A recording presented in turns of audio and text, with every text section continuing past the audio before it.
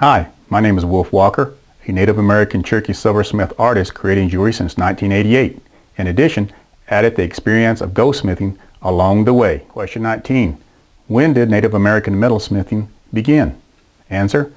The southeastern United States Native American tribes were utilizing metal at approximately 1400 AD. The southwestern United States tribes were utilizing metal at approximately the 1850s.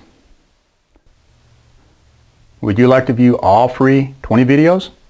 Then please go to www.cherokeejeweler.com. See you there.